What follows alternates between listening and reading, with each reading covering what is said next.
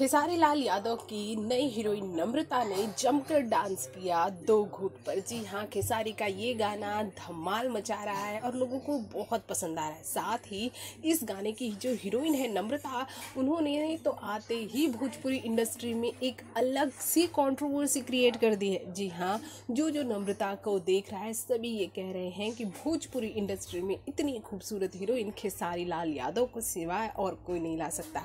साथ ही साथ भोज भोजपुरी में इतना अच्छा डांस, जैसा कि नम्रता कर रही है गाने में दो घुट में, वैसा कोई कर ही नहीं सकता। खेसारी लाल यादव को अप्रिशिएट मिल रही है तो फिर आप समझ सकते हैं कि खेसारी से जलने वालों की तादाद भी बढ़ गई है। साथ ही साथ खेसारी लाल यादव के अलावा जो खेसारी की पुरानी हीरोइनें थी, वो भी बहुत ज़्यादा उनसे जल रही हैं। वो उनका ये कहना है कि खेसारी को इस गाने में ऐसी हीरोइन को लाने की ज़रूरत ही क्या थी। वैसे भोजपुरी में ऐसी हीरोइन पहली बार आई है जो डांस में, गाने में, खूबसूरती में, हर एक चीज़ में अव्वल हो और खेसारी के सामने उनकी जोड़ी भी बड़ी जम रही है। साथ ही साथ नम्रता का जो रील है जो इन्होंने दो घूट पे बनाया, वो भी सोशल मीडिया पे खूब वायरल हो रहा है।